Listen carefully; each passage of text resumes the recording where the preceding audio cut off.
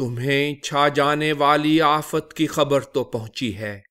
کچھ لوگ اس دن ذلیل ہوں گے، محنت کرنے والے تھکے ہارے۔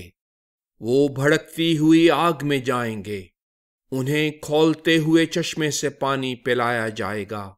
سوکھی ہوئی شبرک گھاس کے سوا ان کے لیے کوئی غذا نہ ہوگی۔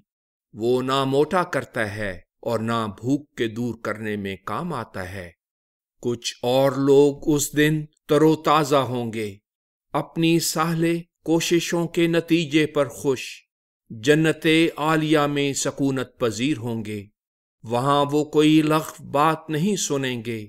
اس میں جاری چشمہ ہوگا۔ وہاں اونچے تخت پڑے ہوں گے۔ جام دھرے ہوں گے۔ تکیے کتاروں میں لگے ہوئے ہوں گے۔ اور قالین بچھے ہوں گے۔